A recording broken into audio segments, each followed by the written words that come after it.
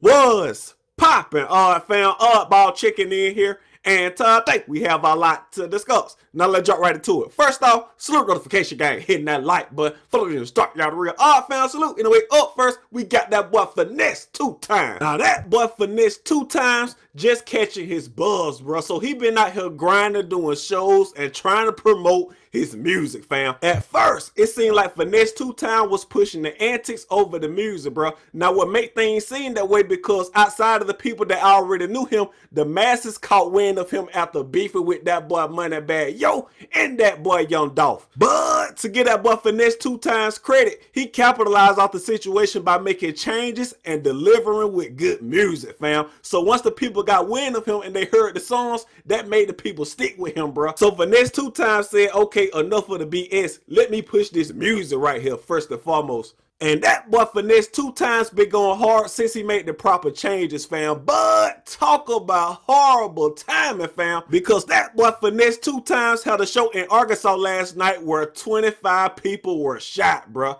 Now they saying the shooting was a result of two groups having a dispute and things got ugly, fam. Now, the mm. crazy part about this is for Finese2Tymes, the media is pushing an agenda to make it seem like it was all his fault, bruh. They pasting that flyer with him holding that gun everywhere, fam. They trying to say, what do you expect when you book an artist like that? And if you're Finese2Tymes, you don't want that type of reputation out there, bro, because you'll scare promoters away from booking you, bro. So hopefully everything work out for that boy Finese2Tymes. Also, they plan on shutting down the club where everything went down at, bro. Now, I'm going to leave y'all with the video of everything that went on. Once y'all get done, y'all comment down below what do you think, bro? Anyway, I'm about to be out of here. Sub to the channel if you haven't. Press that sub button. Also, press that bell beside it so you get notification anytime I drop a video. Follow me on Twitter. Link in the description. Follow me on IG at Relatable Ball. Salute to y'all, man. We on that 100K grind. Up ball. Go.